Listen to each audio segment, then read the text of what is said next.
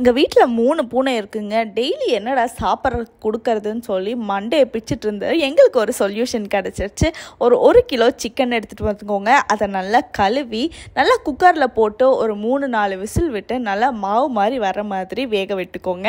அதில் இருக்கிற தண்ணி அதே மாதிரி அந்த எலும்பெல்லாம் தூக்கி அன்னைக்கு பூனைக்கு சாப்பிட்றதுக்கு கொடுத்துட்டு அந்த மாவு மாதிரி இருக்கிறத வந்து தனித்தனியாக கொஞ்சம் கொஞ்சமாக மிக்சியில் போட்டு அரைச்சி நல்லா பேஸ்ட் மாதிரி கொஞ்சமாக தண்ணி ஊற்றி அரைச்சி பேஸ்ட் மாதிரி வச்சுக்கோங்க. அதை ஒரு கண்டெய்னரில் போட்டு ஃப்ரிட்ஜுக்குள்ளே வச்சுக்கோங்க. ஒரு ஃபோர் டு ஃபைவ் டேஸுக்கு வந்து மூணு வேளைக்கு கொஞ்சம் கொஞ்சமாக சாப்பாடு கூட கலக்கி கொடுத்தாலும் ஓகே தான். இல்லை சும்மா போட்டாலும் ஓகே தான். ஒரு கிரேவி மாதிரி ஒரு பேஸ்ட்டு செம்மையான ஒரு பூனைக்கு ரெசிபின்னு தான் சொல்லுவேங்க.